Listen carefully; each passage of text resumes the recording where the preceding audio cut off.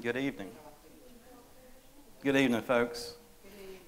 My name is JP Morris. I'm the city's project manager for the Main Street Bridge Replacement Project. I want to welcome you out tonight to our second of two community information meetings. Uh, first, I want to start off by thanking uh, White Rock Baptist Church for being so gracious to allow us to use their facility tonight. We wanted to have our meetings in the communities that are impacted by our projects, and this is really convenient. So, thank you very much. Tonight, what I want to do is give you a, uh, a high level overview of our project, uh, talk about our budgets and schedules, and some of the players that are currently involved, and what the bridge is going to look like, and the impacts to the community while we're building it. So, I'm going to start with some introductions. We'll go through the agenda here first. Uh, I'm going to introduce the uh, folks that are helping us, talk about the project, talk about the schedule. We're going to talk about some questions that are typically asked with um, public works projects. Um, talk about how we're going to keep you informed during the construction phase, between now and then, and during construction. Um, my contact information is in the printed copy of the presentation you have with you. Feel free to take notes on that. We, would like to, for you to take that home with you and share it with your neighbors. And at the end of my presentation, I'll open the floor up to any questions about this project, answer them best I can, and any I can't, um, we'll have a one-on-one so I can get your contact information and get back in touch with you.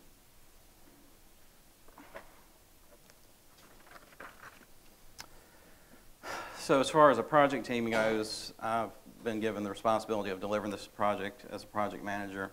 With me tonight, I have um, Cherie Taylor. She's our construction manager. Um, she and a, a talented group of folks take these projects once we advertise them and award them to the contractors. Once we go to construction, in other words, they are eyes and ears in the field. Um, her coworker, Ed Wood, will be the primary um, construction coordinator on this project in the field.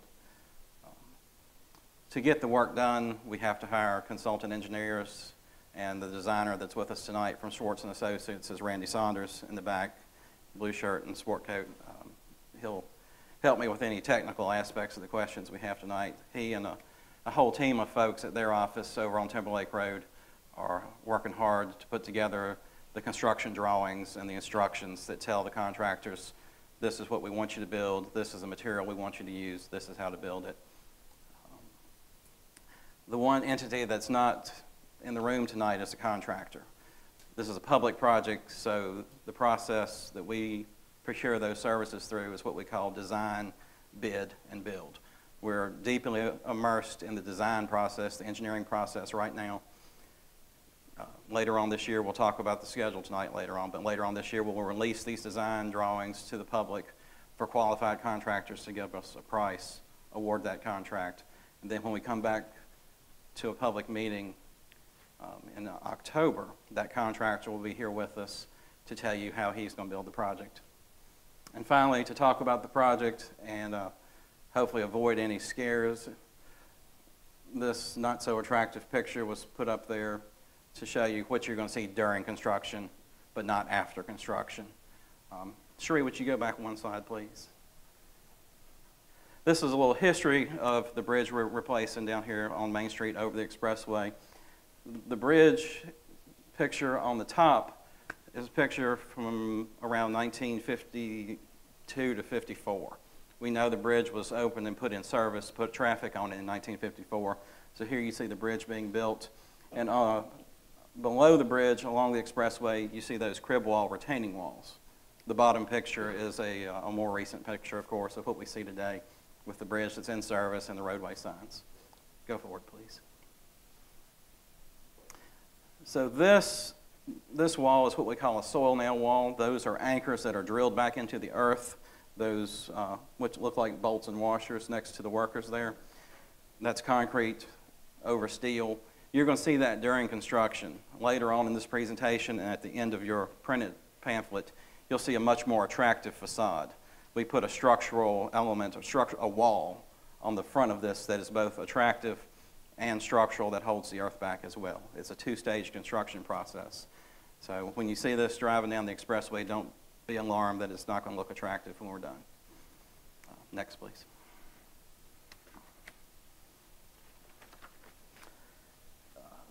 The Main Street Bridge project, as I mentioned, is Main Street over the Lynchburg Expressway, two focus areas that we wanted to address.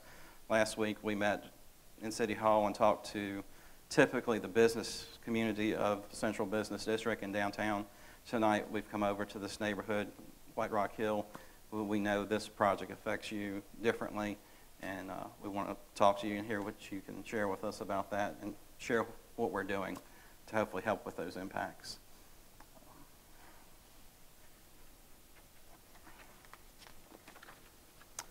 So,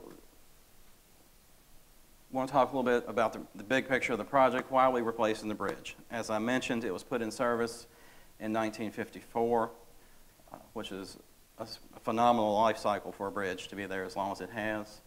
Our, uh, one of the big issues we have with the structure, the distance between the bottom of those steel beams on the bridge and the pavement surface that the vehicles travel on Route 29 is too narrow.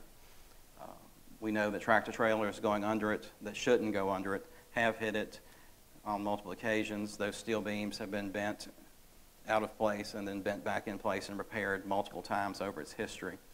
So there's some, some, some stress on those beams, um, damage that's been repaired over the years. And because of, that's one reason it needs to be replaced, to increase that clearance.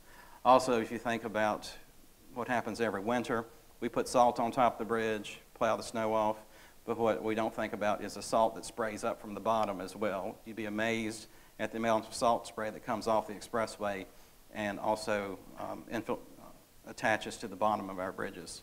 So you have salt damage coming from two directions, and just over the life cycle of traffic pounding on a bridge, going across it, um, it only lasts so long. So because it's at the end of its functional life, it's a better investment to put the money into replacing it now as opposed to the increasing cost of maintaining it and doing re- rehabilitative work to it every so many years.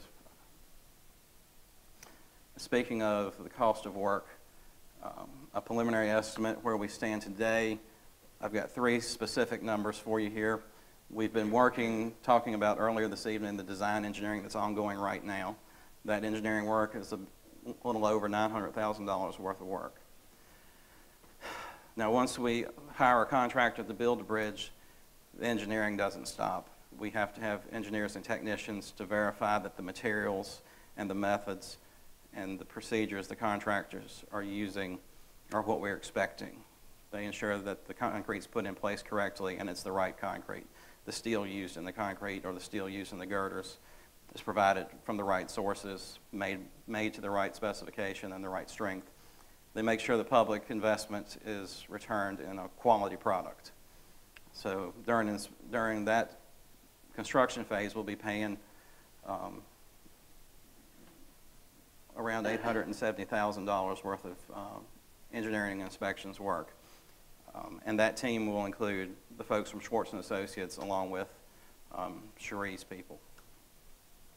Now, the cost of what we're going to pay the contractor to actually build the bridge and the road improvements with it and repair the, rebuild the retaining walls around it is approaching uh, a little over $7.8 million.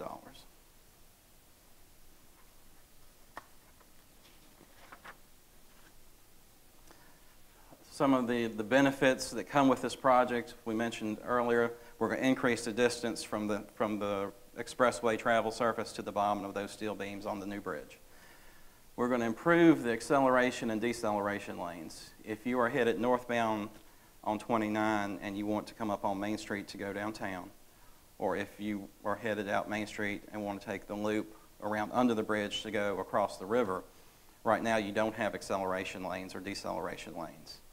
So when we remove the entire bridge, we're going to lengthen the bridge, therefore widen Route 29 and connect those two loops. And that will give acceleration and deceleration lanes for folks getting on and off of Route 29 business. We know that there is a significant amount of pedestrian use on the bridge, and that's one of our concerns we'll talk about during construction later in the presentation. When we replace the bridge, the number of travel lanes for vehicles and the sidewalk widths will remain the same as they are to accommodate that pedestrian use. Additionally to the, to the function of the bridge, separating two roads, This location acts as a gateway to downtown and one of a few gateways to the city as a whole. Uh, It's important that the, uh, the project do what it can to make it a- an attractive and enhanced appearance as you come into the city or you come to downtown. Um, Later in your slides and on the boards in the back of the room are renderings of what we envision the bridge will look like. We, we have some downtown revitalization going on through the waterline uh, improvement projects on the far ends of Main Street and Church Street currently, and this project uh, aesthetically coordinates with that project. We're using the same streetlights and some of the same appearance themes. So when all that work is done over the next few years, um, everything will tie together visually from one end of Main Street to the other. And finally, we will be um, landscaping the quadrants that are on the, the south side of the bridge currently. You've probably seen us working out there with AEP over the past few weeks. It's a balancing act between preserving the mature vegetation that's there and getting the work done. So once AEP is finished uh, and the con- contractor's on board, one of the last things you'll see done with this project will be um, replacing and improving the landscaping that may have been damaged during construction.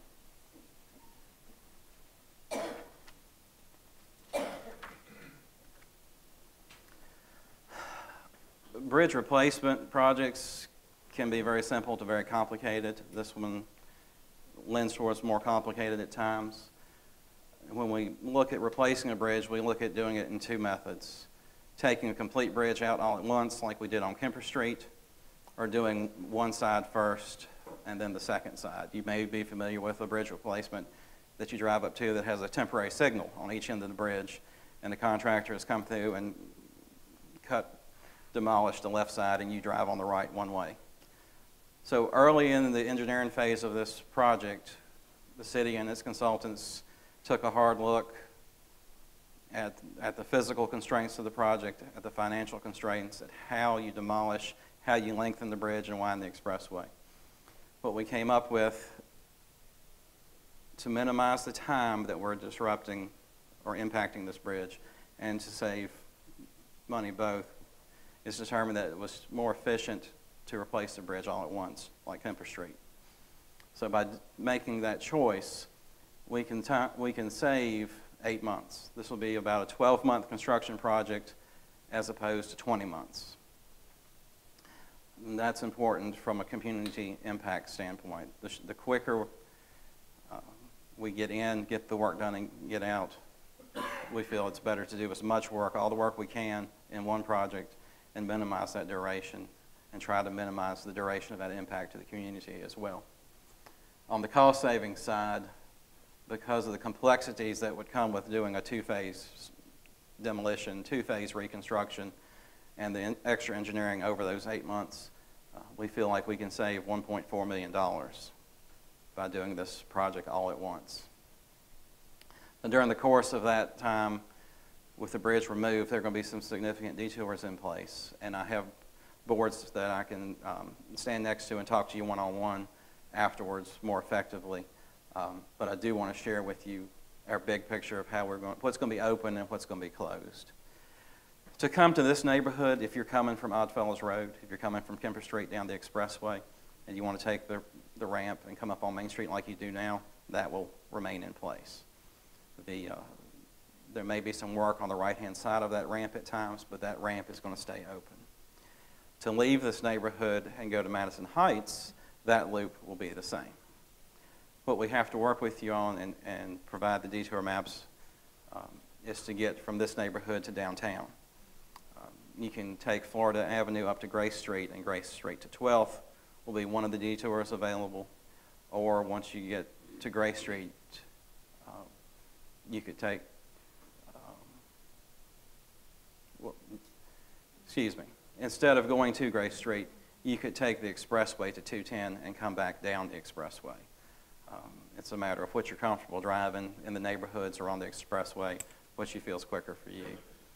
The folks that need to get to this neighborhood from downtown, for instance, they can take the expressway up to Grace Street. And once they get to Grace, they have the choice to take Grace to Florida Avenue or bring the expressway back down to Main Street.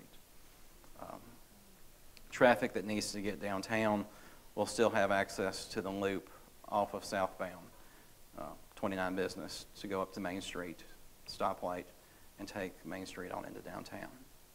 Um, Any folks outside of this neighborhood looking at how folks get downtown, our primary detour route for folks coming from Oddfellows direction, headed northbound on 29, we're going to send them down Kemper Street and take a right on 12th Street to take 12th to Main.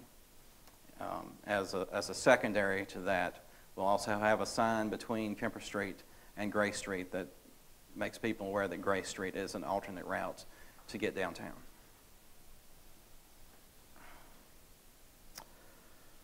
All right. As I said earlier, go back a minute, please. You're good. One of the, one of the, the real concerns for us as a city and a project team is the amount of folks that use the bridge to walk across it, pedestrian access to downtown. And we, we've seen that, we've observed that when we've been out on the project. We know we need to, to work on that. And we're currently working with GLTC to see what solutions we can come up with for that 12 months we're building this project. We know the 1A and the 1B routes are in place to, uh, to provide that connectivity currently, but with the bridge out, we think there's a need that may need to be addressed. And as that, as that plan comes together with GLTC, we'll roll out more details and communicate that to, to the neighborhood as what the service area is and how we might be able to work with the neighborhood and GLTC to, um, to help those folks out. I, it wouldn't be fair to, I'm not to a point where I have real details to share on that now, other than we know there's a need and we're working on it. And finally, um, a concern more from the business community on, on the downtown side, but we acknowledge it, it impacts the entire city is the coordination between this construction project and a, a multitude of other projects around Lynchburg, specifically the utility work on the far ends of Main Street and Church Street. The way things are going right now, it looks pretty good. Our intent as a city is for that project, the utility and streetscaping, to be open to traffic and the pavement in place and most of the equipment gone by the time we get this project under contract and before we start work out here. Now that project may have some signs to put in, it may have some landscaping to put in, but that's minor. As long as you have both lanes open to traffic and the center lines, the dash lines down the center of Main Street and Church Street, that alleviates the congestion on that end of, of the city.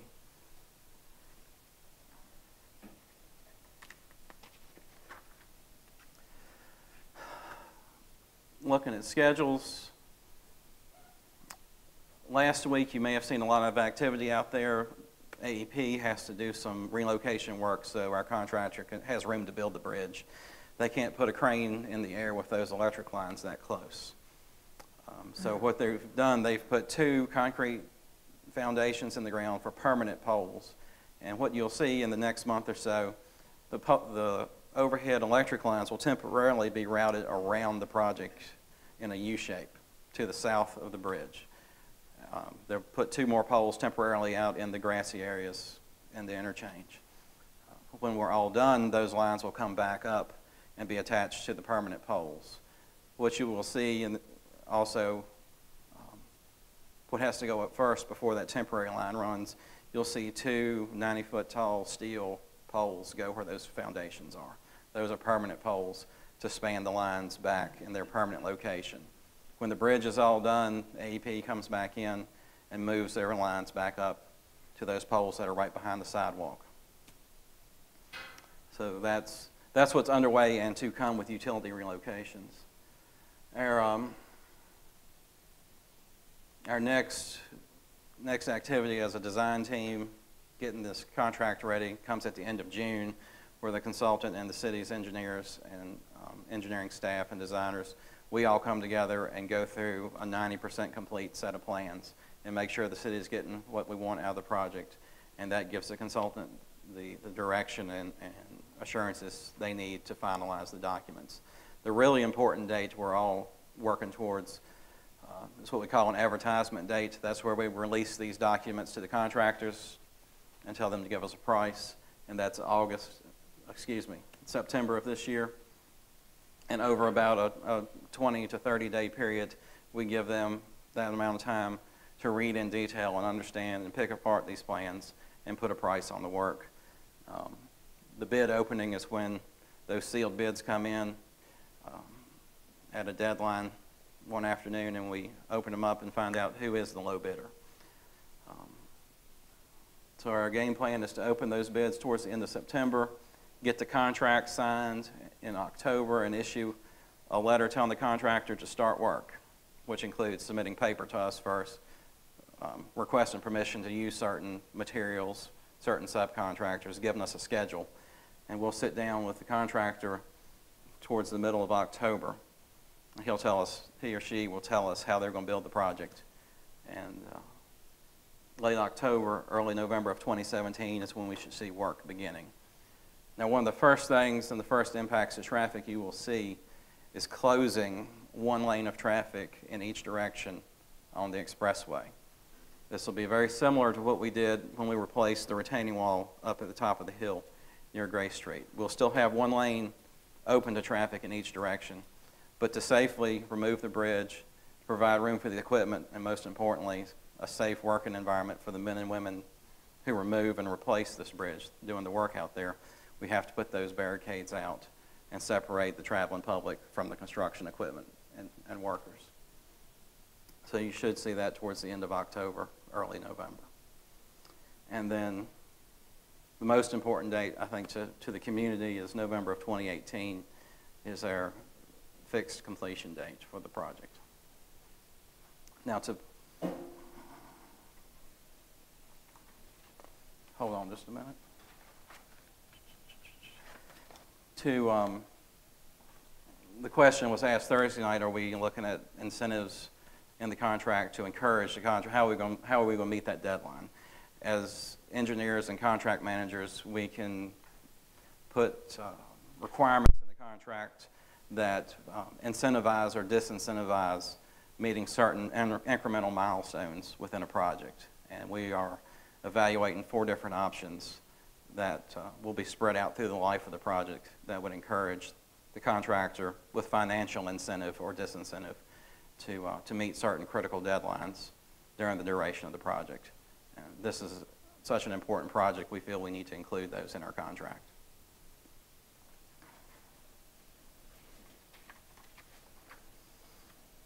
Go ahead. All of our projects have similar questions, and I've tailored the answers to this project specifically. Um, first question, will the surrounding streets be closed to traffic? The project has a very small footprint.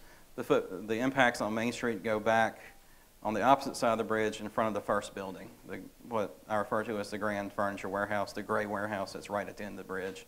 On this side, it comes up um, to where the first and second buildings meet as you come, come across the bridge. That's, that's the Main Street footprint of the project. So um, access to local traffic will be maintained through the detours we uh, spoke about earlier, and we can look at on the boards individually after the meeting. Um, the detours will be clearly signed to uh, provide the best direction we can to the traveling public. Um, something that's very important, will emergency vehicles be able to get to homes? We know that property and lives depend on that. And yes, they'll we'll be using the detours put in place. When we develop projects like this, um, as early as six or eight months ago, we make LINCOM and the agency, external agencies aware. Look, this project's coming. We're going to impact your routes. And um, early coordination with those external agencies is very important. In addition to going through LINCOM, I will typically send a written notice to both fire and police because since they are internal to the city, um, I don't think you can communicate your impacts too much to those agencies. And you can't be early enough in, in making them aware of, of the impacts to their routes.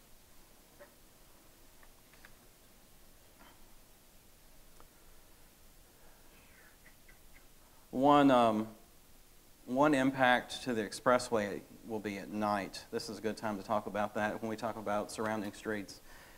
Um, the new bridge will be about 101 feet long, and that's a single span of eight steel girders. So those, those steel girders will come in on special trucks, be hauled in at a time the contractor schedules, that he's got the foundations ready to lift those beams, turn them, and set them in place. Uh, That's a very large impact to the expressway. We don't want to close the expressway um, in daytime, and uh, with limited ways to detour traffic around it, it's going to have to be nighttime work. I think it's far enough from the houses that it's not going to be a noise impact at night, no more than traffic going down the expressway. But um, we'll have a press release. I know um, two different contractors have built bridges across 460 in the last few months, and they have, they've had detours in place and put out advance notices through the press about lifting, lifting their beams and having the road closures at night. It'll be very similar to that, and we'll do the same for the community here.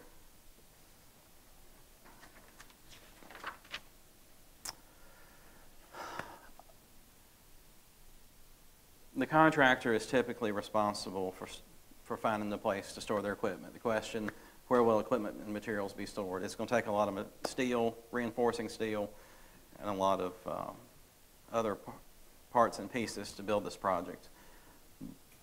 If they want to use private property, we don't stop them. We just ask that the contractor give us a document, documentation that they have the property owner's written permission. We don't get between the contractor and the property owner. That's private business and a private property, and what deal they work out is between those two parties. We just um, expect them to respect the adjoining properties. Um, Two other services that are important to the community are school buses and um, refuse truck access to your, to your streets. And those are two other entities, refuse and schools, that we communicate with early, and they will have access using the detours put in place. Um, And to go with the school buses, we've, we've also, as I mentioned earlier, we've talked to GLTC, and they understand how to, how to work their 1A and 1B routes through the detours as well.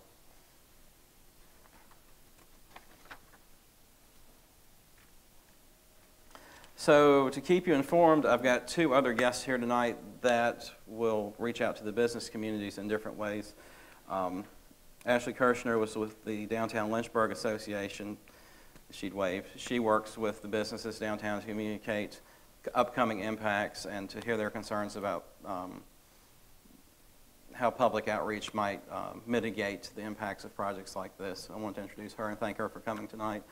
Also, Heather Kennedy is with the uh, Downtown Waterline and Street- Streetscape Improvement Project. She's the communications officer for that large project, and she's working with us um, as a liaison between the two projects to make sure we understand where they are and how the projects coordinate. Um, As far as public meetings go, once we have a contractor in place and know of a schedule for his, his or her delivery of the project, we'll have another public meeting to make everybody aware, and look, we're getting ready to start work, this is how we intend to do the work. Uh, We'll use our local print and broadcast media as effectively as we can to keep you informed. Of course, the city website will have a site specific for this project, and what you see in the detour maps printed behind you and in your, um, in your documents, those detour maps are available online. And they'll be linked through the city's um, Main Street Bridge replacement page. And if you, um, if you use social media, you're welcome to follow the city on Facebook or Twitter, either one.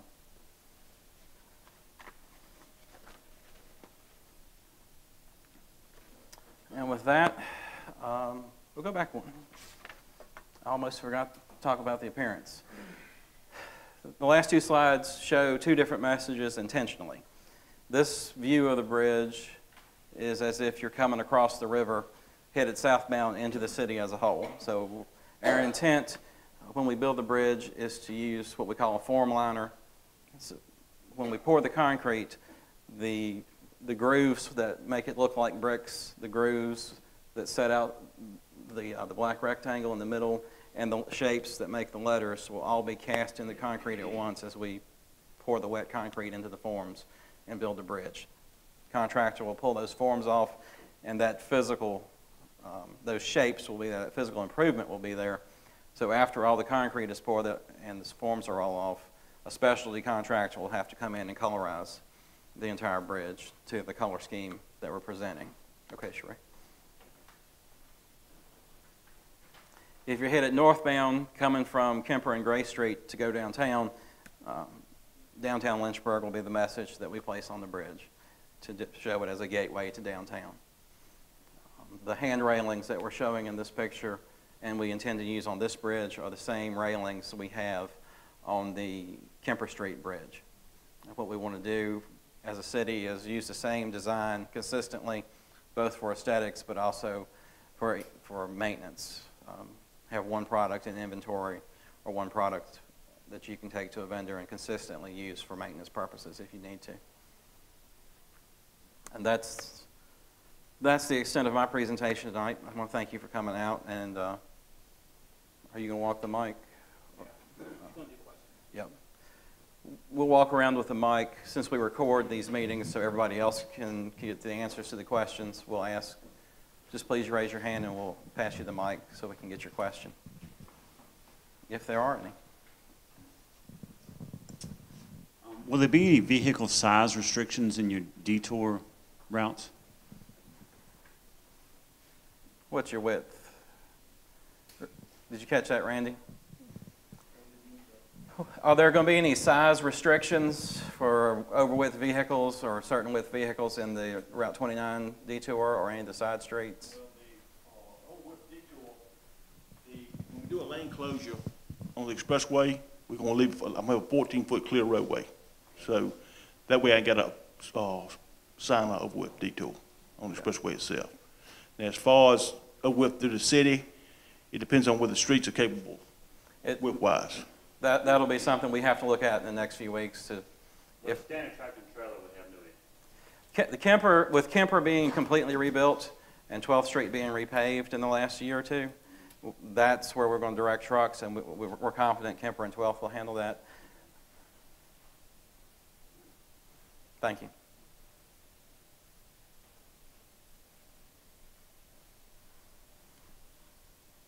Any other questions for the group as a whole? How long do you expect it to be single lane on each side? The, the question is, how long will the expressway be reduced to one lane in each direction? I'd say for the majority of, of the project. If we, um, it's, it's safe to say for the majority of the project. The, uh, the last work we do on the expressway will be to pull up those barricades and repave if the, if the pavement gets damaged, and that's gonna come towards the end of the project.